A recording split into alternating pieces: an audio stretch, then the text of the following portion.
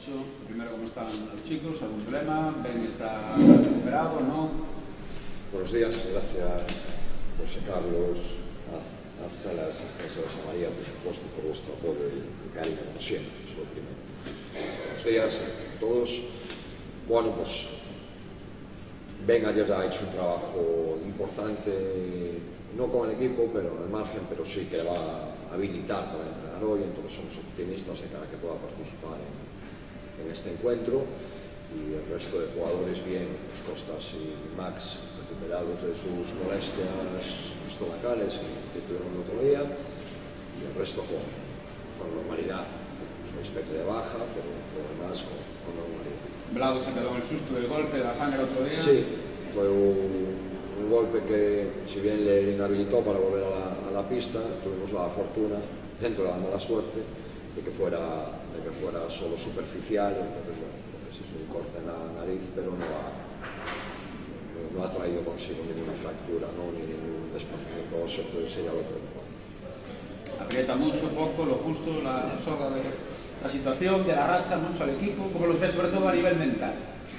Sí, hombre, eh, lógicamente, decir que estamos contentísimos y tal sería estúpido, pero lo que estamos es animados, que es y eso es lo que me transmite el, equipo, ilusionados, ¿no? con ganas de, de, volver a disputar el siguiente partido. Creo que hasta nos viene bien a estas alturas de temporada, donde eh, ya tácticamente las, los cambios son, son, muy pequeños, donde está todo aprendido. ¿no? Eh, yo creo que nos viene bien jugar ya y estamos deseosos de que llegue, de que llegue, de que llegue el jueves. ¿no? Eh, somos conscientes de, de cuál es nuestra nuestra realidad, dónde estamos, pero también a la vez estamos ilusionados por las oportunidades que siempre te da, que siempre te da el deporte, ¿no? y cuanto antes, pues mejor. ¿no? Yo creo que en ese aspecto, pues lo que a los chicos con, con esa ansia competitiva de, bueno, de que llegue mañana.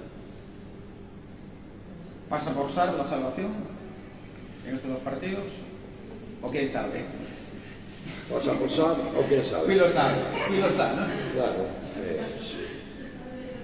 es una, una reflexión que no nos lleva a ninguna. No, nosotros lo que tenemos que hacer es pensar en lo siguiente, como siempre, pero es que, que nada cambia, ¿no? Pensar en lo siguiente. Hoy volvemos a entrenar y mañana tenemos un partido. Fuera.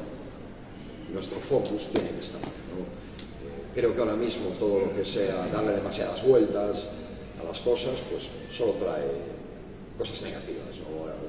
Tenemos que centrarnos en, lo, en la tarea, en lo siguiente. Oye, mira, mañana una oportunidad fantástica de jugar un gran partido, frente a un gran equipo, seguro que, que nuestro público estará súper volcado. Hay, hay, que verlo como lo que es, ¿no? tener la oportunidad de pelear por estas cosas, de la dificultad que, que, que entrañan los retos, eh, que las cosas no, no, son sencillas, no se consiguen así porque sí, pero tenemos la fortuna de ser protagonistas de eso, ¿no? de, poder, de poder vivirlo. Por eso cuando hablamos del título de la permanencia, hablamos porque a nosotros nos cuesta muchísimo. ¿no? Estoy seguro de que muchos equipos de la liga se cambiarán por nosotros, eso es lo que tenemos que pensar. Sí, el objetivo es ganar otra vez y luego, nunca mejor dicho, por lo que estamos viendo estos días, sálvese quien pueda. Sí, exacto, ¿no? está, está, bien, está bien el eslogan, ¿no? pero bueno, pues eso, eh, lo, lo, que realmente esconde ese chascarrillo es que necesitamos también a nuestra gente, ¿no? que, que va a estar ahí como ha estado siempre, ¿no? sempre as buenas, sobre todo as malas, han hecho un esforzo extra y, y yo creo que eso nos va a dar muchísima energía, ¿no? Y si por tu cabeza eh, pasa pues, la depresión, pues cuando veamos allí a, a aquellos miles de seguidores cantando el nudillo y aplaudiéndonos y tal, pues eso nos va a hacer sonreír. Y está, bueno, además de, del equipo global, ¿no? Y eso incluye a cuerpo técnico, supongo que eh, después de la, de la racha de las últimas jornadas, pero sobre todo los tiradores están frustrados eh, eh, por estos partidos en los que hay varios tiros o muchos tiros liberados que no entran, que no entran, están un poco en esa dinámica que al final se vuelve negativa y que engloba un poco todo, pero que por ahí muchos partidos, pues eso, tiros liberados que no entran, no entran y por ahí se escapan partidos. Claro, la, la receta es, es, la misma que hablamos antes, es decir, si tú eres capaz de generar una acción en la que tiras solo, es perfecto, hay que volver a tirar, ¿no? la solución no es, no es no tirar. ¿no? Evidentemente hay acciones que tienen que ver con el estadio. ¿no? no es normal que, que fallemos ocho tiros libres en el anterior partido, seis en el otro, cuando somos el equipo que mejor tira la liga, por ejemplo, ¿no? en ese, por poner un apartado. No estoy preocupado porque saben los compañeros es que desde el cuerpo técnico, los jugadores, desde el cuerpo técnico, desde sus compañeros, vamos a estar otra vez, cada vez que tengan una oportunidad que la tienen, porque además les van a acabar metiendo como siempre han hecho. Y la última por mi parte, eh, además de decir que te admira, escuchando esta mañana a Pedro Martínez, ¿qué ha cambiado Herbalife desde que ha llegado Pedro? Yo también admiro mucho a Pedro por, por todo lo que hace. Es un entrenador que es un espejo para, para cualquiera, cualquiera. Bueno, pues Pedro ha aplicado su, su filosofía, lógicamente, con una filosofía que ha hecho campeón en, en Valencia, que ha hecho jugar a Vasconia increíble hasta antes de ayer, ¿no? o, o partidos espectaculares como el que hace el, el otro día para ganar a, a estudiantes, ¿no? con un nivel de acierto. Su filosofía de, de juego, tanto ofensiva como, como defensiva, donde bueno, pues intenta aprovechar lo mejor que puede los recursos, que son muchos de los que dispone. Yo creo que si algo tienen los equipos de Pedro es que siempre son muy sólidos, muy sólidos en el aspecto defensivo, nunca se deshacen y que ofensivamente ponen en alza siempre las características de sus, de sus jugadores. Un juego muy directo, eh, con un sentido colectivo del juego que nace a través de las virtudes individuales de sus jugadores. Bueno, el baloncesto es peche máis nestes momentos a, a, os anos de concentración ou os despistes que pude ter o equipo que se veñen repetindo Sí, jornadas. o, o que me preocupa é a orixe, non? Porque cando eh, ti sabes facer algo e o faz, e o faz a bo nivel, e a gran nivel, e, e dúas semanas despois non o faz, non é porque te esqueceras, non é porque hai algo que, que che bloquea os nervos, o exceso de ansiedade, o que seña, eso é onde temos que ir, non? Porque cando somos un fruto do desconhecemento desconhecemento pois entón si tens que estar preocupado porque temos que aprendelos de novo, e non é o caso. Non é? Estes xogadores xogaron moi ben e fixeron moi boas cousas durante, durante moito tempo, non? E iso é o que temos que pensar. E recordar, lembrarles a eles que, que son quen de que son fixeron, que non é nada que non é nada novo. Por eso estou tranquilo, non? porque como se foron quen, van a ser outro. Falabas de Pedro que está, que lleveu ese cambio, eh, dende que chegou Willy, Willy teñen outra enerxía, Erickson recuperou un nivel espectacular, parece, bueno, hasta Hanna, parece outro equipo, eh, a medida que foi pasando a temporada un equipo que sufreu tantos cambios. Sí,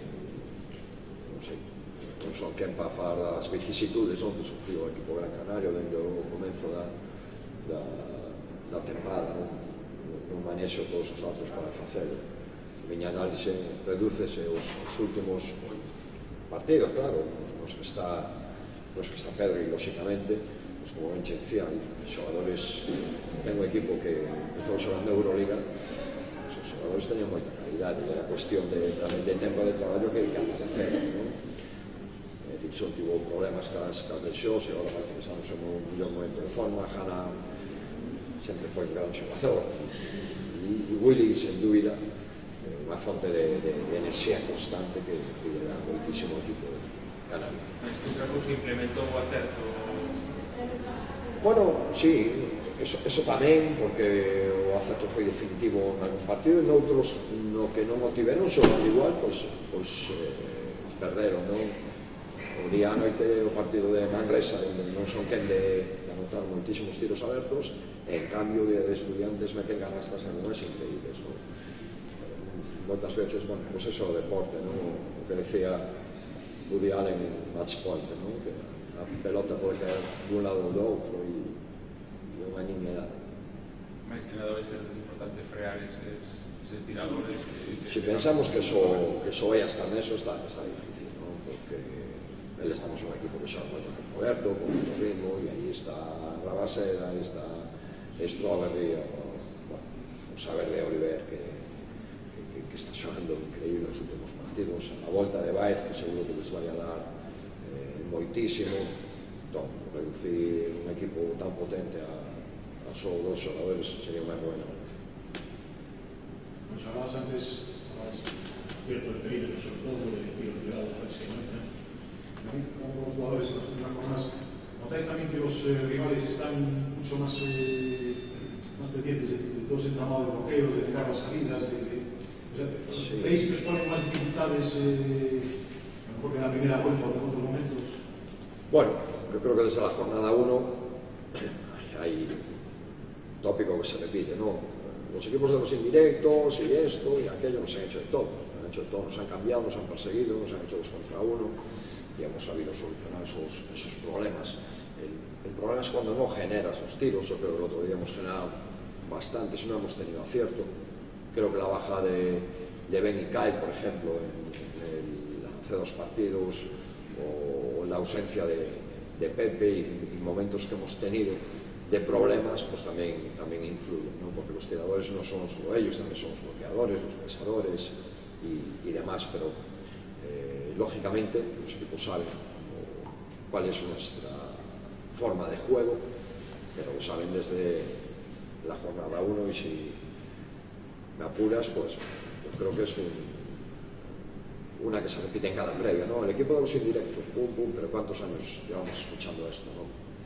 Entonces, eh, muchas veces eh, intentamos hacer un análisis muy complejo y y las, las evidencias son otras, ¿no? Si fallas eh, cuatro bandejas, eh, X ti- tiros abiertos, no sé cuántos tiros libres, te cogen cinco rebotes de ataque, pues, a lo mejor va por ahí, ¿sabes? Y, cuando quieres curar la gripe, si lo que haces es echarte crema en la nariz para que no se te irrite, pues te olvidas de lo básico, ¿no? Entonces, bueno, no sé si la metáfora es la más apropiada, pero bueno, la que, con este tiempo que tenemos, fue la que se me ocurrió. Costa como llega a poder con outros individuos, eh, decía yo, está haciendo. Está para echarle una buena mano, está... Bueno, está haciendo un esfuerzo grande por, por ayudarnos, y además para echar una mano, eh, no, no solo es eh, la parte que se ve del iceberg, ¿no? Estoy de metáforas hoy, vamos, sembrado, que es la competición.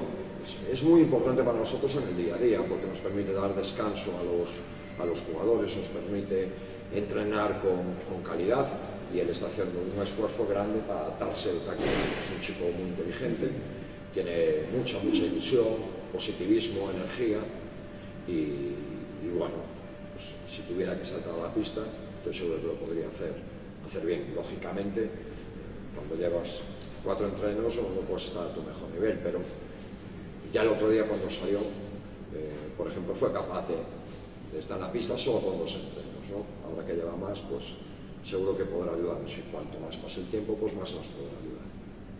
Moncho, a lo largo de la temporada nos, has hablado de la importancia del baloncesto. ¿Ha llegado un momento que quizás eh, va a valer más el corazón que la cabeza? Bueno, yo creo que no, porque te hacen falta los dos, ¿no? Te hacen falta los dos. Lógicamente, si me das a elegir, siempre voy a quedar con el corazón, eso sí, sí, porque sin el corazón no hay, no hay nada, ¿no? Aquí tenemos unos coches fantásticos, que, fantásticos en diseño, eh, aerodinámica, bla, bla, bla, sin gasolina, no anda, ¿no? Diésel ya no se puede decir, pero sin, sin fuego anda, es así. Entonces, el- es muy importante, fundamental, pero eh, lógicamente el baloncesto es muy, muy importante. ¿no? Tenemos que conseguir, conseguir las dos. El baloncesto a estas alturas ya lo tenemos. ¿no? No queda nada para acabar, ya poco más puede cambiar, puedes ajustar detalles. Si necesitamos esa energía física y mental, lógicamente. Afrontar los partidos con un buen estado de ánimo, con ganas y con la ilusión del reto, en lugar de eh, ver el reto como, eh, no, oh, qué terrible que tengo que jugar un partido, qué, va, qué guay que tengo que jugar un partido para, para volver a estar en esta liga que es la leche, eh, apoyado por toda esta gente, eh, vivo de lo que me gusta y me pagan por ello, es que no es el medio vaso, es que son tres cuartos de vaso llenos. Esto, esto es por lo que los jugadores son deportistas y por lo que los entrenadores somos entrenadores, para hacer frente a los retos, para luchar contra esto, para sentir y prepararnos eh, para esto, ¿no? por esto estamos aquí, es que, es que es así, somos muy afortunados por tener la oportunidad de hacerlo. Os veo muy bien, os veo muy bien, os veo muy bien, concienciados, concentrados, eh, lógicamente, pues somos humanos e cuando inmediatamente después de la derrota pues nos sentimos, nos sentimos mal, pero yo creo que el otro día gastamos 10 segundos en deprimirnos y ya pensamos en lo que, en lo que venía y los veo, los veo muy bien. Los veo muy bien. En ese aspecto, otras temporadas ya hablaste del, del aspecto positivo, de que entra en el vestuario gente sin tiras en la mochila. Eh, se, se, nota también ese soplo de, de aire fresco, que además también comentaba ayer eh, Costa que intenta él, incluso es consciente que Claro. aportar esa, esa positividad. Y sobre todo, el punto de vista de cuántos se cambiarían por estar con nosotros. Él, él- el- su análisis no tiene ninguna carga previa. Su análisis totalmente objetivo. Acaba de llegar y lo ve.